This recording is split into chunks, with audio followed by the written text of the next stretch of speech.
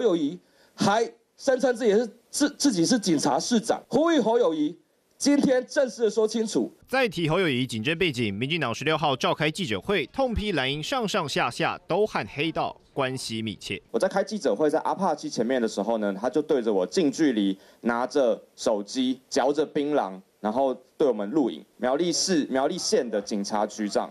你们容许这样的事情发生吗？到有一场踢馆，却疑似遇上黑道盯场。曾文学更加码爆料，对手邱正军和统促党走得很近。这个人叫做罗玉军。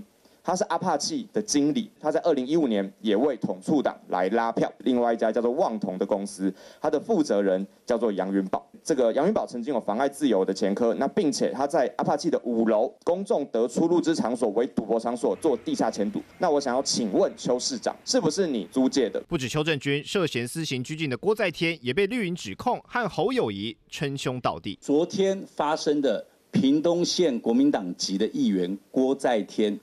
他居然把他自己的服处当成是施行暴力的刑场。侯友谊到屏东的时候，曾经搭着郭在天的肩膀说：“兄弟啊，基本拜托哦，我要问侯友谊，你拜托他什么事情？”检举抹红不够，又要来抹黑，哇！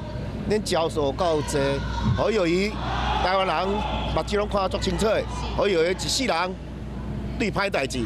绝对无放手。